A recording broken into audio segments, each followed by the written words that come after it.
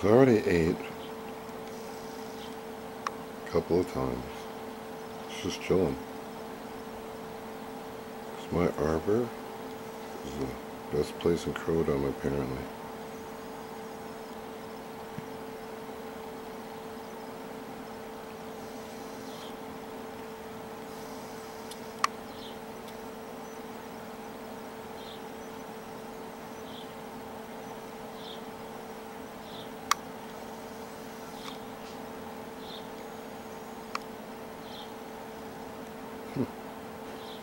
I love this bird.